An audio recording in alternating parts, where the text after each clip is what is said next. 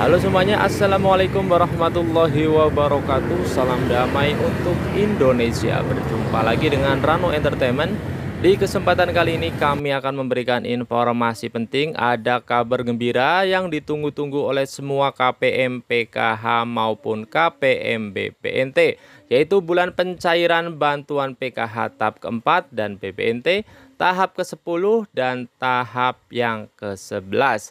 Siap-siap di awal bulan November tahun 2022 untuk bantuan PKH tahap keempat dan bantuan BPNT tahap ke-10 dan tahap ke-11 dan bantuan BLT kantor pos sebesar Rp600.000 juga mulai cair di awal November tahun 2022. Tapi sebelum ke informasi selengkapnya, bagi teman-teman yang baru gabung di channel ini, alangkah baiknya untuk subscribe dan menyalakan lonceng notifikasinya, agar nantinya teman-teman bisa mendapatkan informasi-informasi terupdate dan terbaru dari kami tentang bermacam-macam berita-berita dan bantuan sosial dari pemerintah. Dan sekarang kita langsung saja simak informasi selengkapnya. Tidak terasa besok kita sudah memasuki bulan November tahun 2022. Jadi bagi para KPM PKH yang menanti-nanti pencairan bantuan PKH tahap keempat dan untuk KPM BPNT yang menanti-nanti pencairan bantuan BPNT untuk tahap ke-10 dipastikan akan mulai dicairkan di awal bulan November tahun 2022 ini. Karena dipastikan di bulan Oktober ini pemerintah sudah selesai melakukan verifikasi dan validasi para KPM PKH dan KPM BPNT. Jadi dipastikan mereka yang lolos verifikasi akan mendapatkan bantuan yaitu PKH tahap keempat dan BPNT tahap ke-10 dan tahap yang ke-11 yang dipastikan akan mulai dicairkan di awal bulan November tahun 2022 ini. Jadi bagi teman-teman yang menanti-nanti pencairan bantuan PKH tahap keempat di bulan Oktober kemarin, teman-teman agak kecewa karena belum turun ya untuk bantuan PKH tahap keempat. Tenang saja karena pencairan bantuan PKH tahap keempat dipastikan akan mulai dicairkan di bulan November tahun 2022. Dan untuk penyaluran bantuan BPNT tahap ke-10 kemungkinan besar akan digabung dengan pencairan BPNT tahap ke-11. Jadi nantinya teman-teman akan mendapatkan bantuan BPNT 2 bulan sekaligus sebesar Rp400.000. Jadi gabungan antara bantuan tahap ke-10 dan tahap ke-11. Jadi prediksinya begitu untuk pencairannya yaitu digabung antara bulan Oktober dan bulan November. Jadi nantinya akan dicairkan melalui kartu KKM.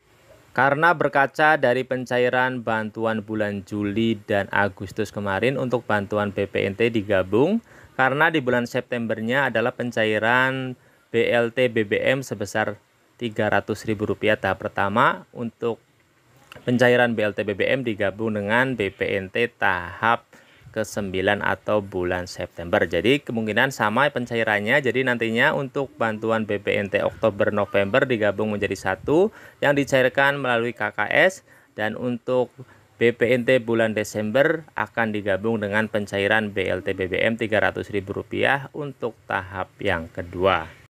Jadi apa pun proses pencairannya untuk bantuan PKH dan BPNT kita berdoa saja semoga saja pencairannya lancar dan tepat sasaran. Dan untuk bantuan BLT kantor pos yang akan cair di bulan November ini yaitu BLT BSU BPJS Ketenagakerjaan sebesar Rp600.000. Jadi bagi teman-teman penerima bantuan BSU BPJS yang belum cair di tahap 1 sampai tahap 6, maka akan dicairkan di tahap ke-7 dan tahap selanjutnya melalui PT Pos Indonesia. Dan perlu diketahui untuk pencairan tahap 1 sampai tahap 6 dicairkan melalui Bank Himbara yaitu Bank BRI, Bank BNI, Bank BTN, Bank Mandiri dan untuk wilayah Aceh melalui Bank BSI. Jadi teman-teman yang tidak cair melalui Bank Himbara tersebut maka akan dicairkan melalui PT Pos Indonesia. Teman-teman bisa mengecek di BSU BPJS ketenagakerjaan.co.id apakah teman-teman terdaftar sebagai penerima BSU PT Pos Indonesia atau tidak. Nantinya akan tertulis seperti ini. Anda memenuhi persyaratan penerima bantuan subsidi upah atau BSU Dana BSU akan disalurkan melalui PT Pos Indonesia. Silahkan kunjungi kantor pos terdekat dengan membawa KTP asli. Jadi teman-teman bisa mengecek ya di aplikasi BSU BPJS Ketenagakerjaan. Jadi teman-teman silahkan download aplikasi PosPay bagi teman-teman yang terdaftar di BSU kantor pos. Teman-teman bisa download di Play Store ya untuk aplikasi PosPay. Teman-teman silahkan mendaftar akunnya terdaftar akan muncul kode QR dengan tulisan silahkan tunjukkan kode QR ke petugas untuk melanjutkan verifikasi pencairan bantuan BSU BPJS.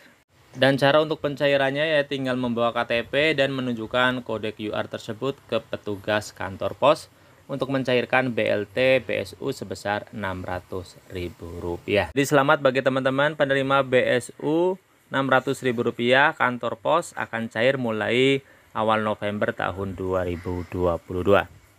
Terima kasih semoga informasi ini bermanfaat. Wassalamualaikum warahmatullahi wabarakatuh.